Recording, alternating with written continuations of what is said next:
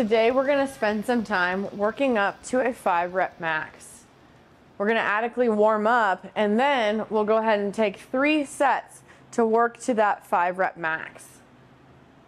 There may be an instance where you thought your third set would be your five rep max and it's not and you wanted to go more. Go ahead, treat one of those first two sets as a warm up and continue on. We're just getting to your heaviest five that you can accomplish for the day. Now, we want to focus on a few things. If you're tight, maybe in the beginning when it's still light and you're warm up, spend some time at the bottom of the squat doing some tempo squats or some pause squats. Getting that bar nice and high up and resting on your shoulder is going to be that first foundation to a good squat. If your wrists are something that is feels a little torqued and overworked, release a few fingers and let that fingertip grip really be uh, the charging force. There might be slight pressure on your neck and that's all right. All right, you should still be able to breathe, however.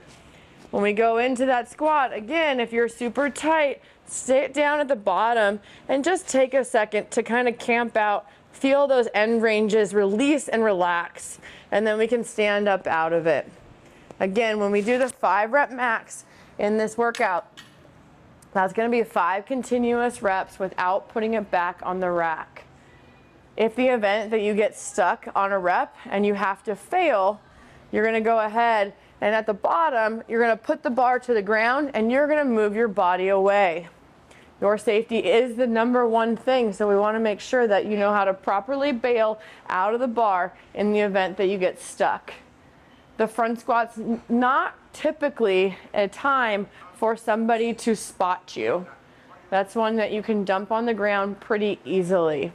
However, if you would like somebody to help you with a forced rep, a forced rep happens when somebody helps you out of the bottom of one of those reps. The easiest way is if you have two other buddies and when you're squatting, they're gonna just provide a little bit of assistance on the sides of the bar.